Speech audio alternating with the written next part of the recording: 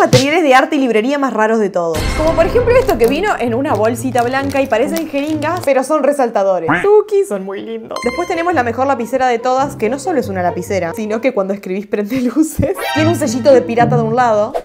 Y también es burbujera.